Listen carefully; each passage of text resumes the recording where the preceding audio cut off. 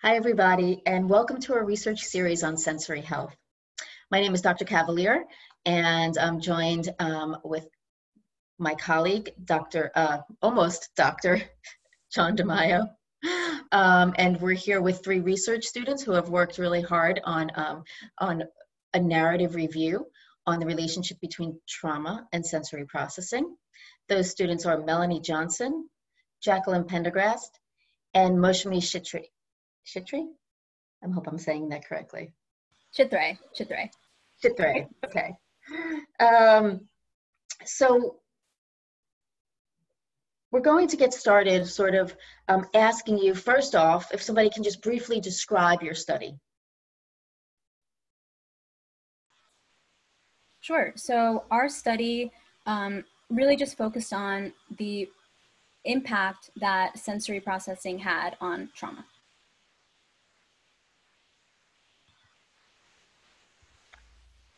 Okay, great. And can you tell us about your methodology? How did you how did you study this? So first, um, regarding search terms, we would we started pretty broad.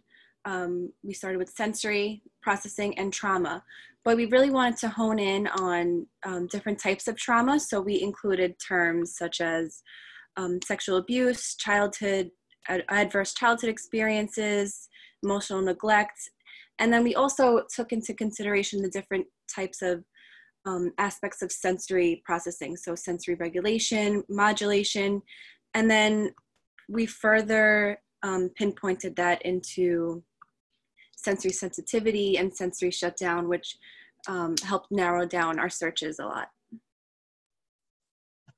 During your searches, Melanie, were you looking for um, articles that were um, that had to do with sensory processing and trauma? Was was that connector in there, or were you looking for articles um, on either or?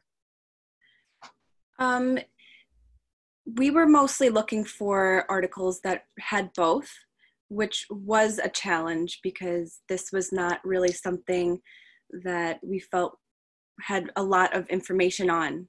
So at times we did have to connect the dots, but for the most part, we did really search for articles that had sensory processing and trauma together. So regarding your search, would you say it was an easy process? Um, or was it a little more challenging? And if it was challenging, can you kind of describe why? I, I think you just sort of alluded to that, but can you get into a little bit more on that? Sure. Um, it was definitely, it was challenging in the beginning. Um, again, regarding the search terms, it was hard because we felt that a lot of articles mentioned like physical trauma such as tbi or um, things that we know already alter sensory processing uh, within someone. So that was definitely one of the main challenges we felt that hindered our searches at times but also um, honing in on a, an age range was also difficult for us because we've we found a lot of studies that had to do with childhood trauma and there was it was hard to gather studies that had to do with lifelong um, traumatic experiences. So that was probably um, our two main uh, challenges during searching. Thanks melanie. So you did this search on trauma and with varying terms and sensory processing using varying terms sensory regulation sensory modulation. What did you find so, our main findings really just demonstrate that trauma causes a neurobiological alteration in the limbic system of the brain. And this can lead to um, sensory processing difficulties, specifically hypersensitivity, and in some cases, numbing or shutdown. So, uh, Porges' polyvagal theory really helped us to connect the physiological, which refers to the sensory processing aspect of it, and the psychological, which is the trauma. Um, and going even further into that, we found that sensory responses to trauma are determined by an individual's active or passive regulatory strategies. So, someone who has more active strategies, including a strong support system or better coping um, techniques, will have a more functional response to trauma and will recover more quickly. going off of that, we found a key study who uh, done by Engel and Yeager.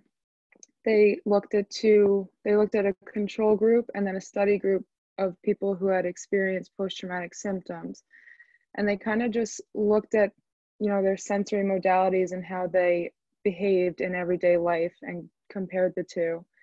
And what they found was people who experience trauma and go on to develop post traumatic symptoms, um, it all depends on how, on their coping resources and their social support, but it influences their sensory processing abilities.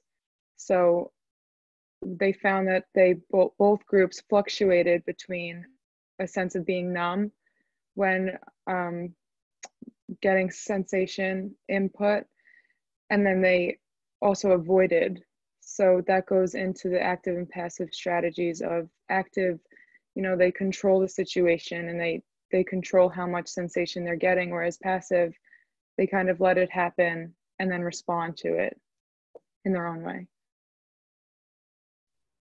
so if i'm understanding you uh, correctly depending on their active or their passive strategies they respond to they a person may possibly respond to trauma differently. And what you're seeing is those who have a passive response strategy will respond in either one of two ways shutdown or hyper responsivity, correct? That's, that's very interesting. And that's something that I haven't, um, you know, because I do read this literature regularly, that is not something that I've heard before um, or I've heard put together in that way. Um, so I think that's very interesting.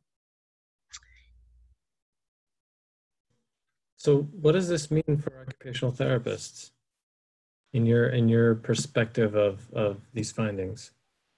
So we believe that OTs can use this information in terms of tiered interventions. So for example, we believe that it's very important for us to provide education to the general public regarding what sensory processing is, what trauma is, how um, trauma can present itself, and how one can really apply uh, active strategies in order to live a more functional and happy life. Um, for individuals who are at risk, we can lead um, social support groups so they can develop better social networks, um, better coping strategies.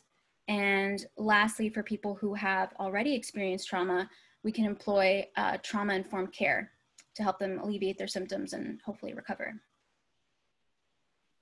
I think a big one too is knowing that there is a link between trauma and sensory processing and how like interventions for when working with people who have experienced trauma how important it is to provide sensory interventions and kind of emphasize even interoceptive awareness where they can understand and recognize the internal sensory information that they have and how to you know regulate it so that they can fulfill their roles or participate in just everyday life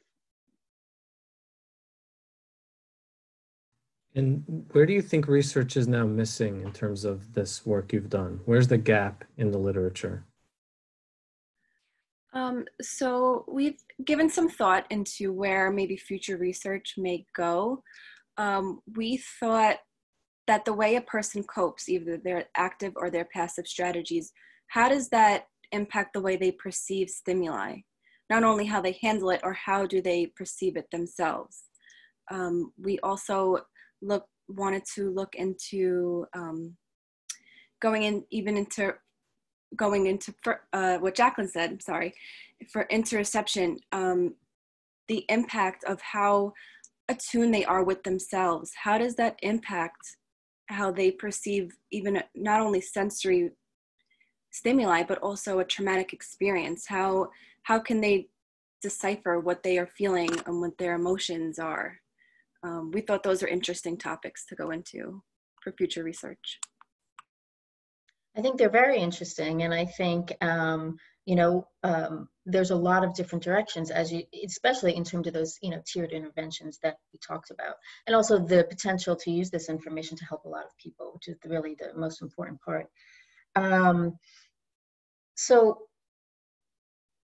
what did you guys think of the research pro- process how did you feel about this process of doing this really this year long study in-depth narrative review of the relationship between sensory processing um, and trauma.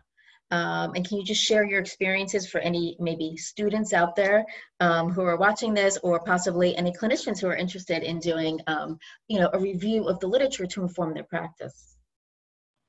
So for me, I felt like um, the process as a whole was very difficult because it wasn't something that we'd ever done before. Um, but what I learned was that there's always another avenue to explore. So if you feel stuck, maybe you know change your search term or change something else about what you're doing um, to find the information that you need to find. Because normally, usually, it's out there. It's out there to find. That's great advice.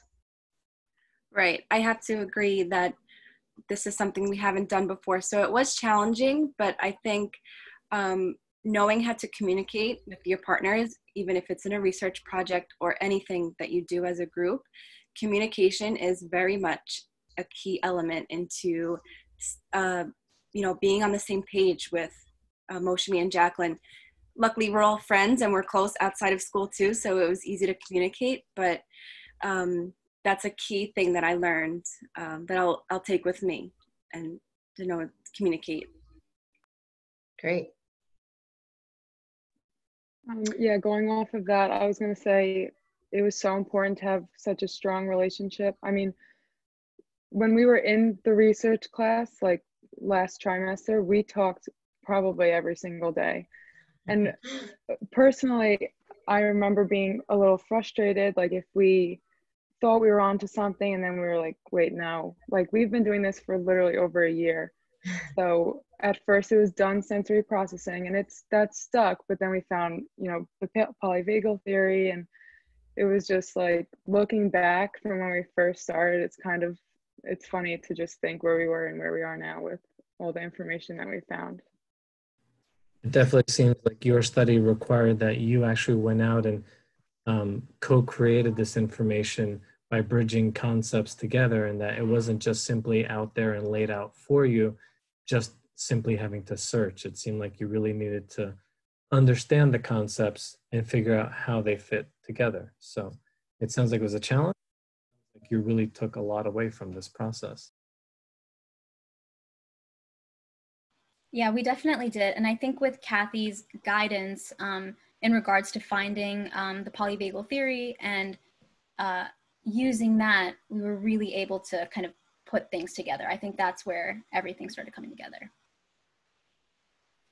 It was an exciting project, and congratulations on getting it done and uh, teaching the world about the connection between trauma and sensory processing.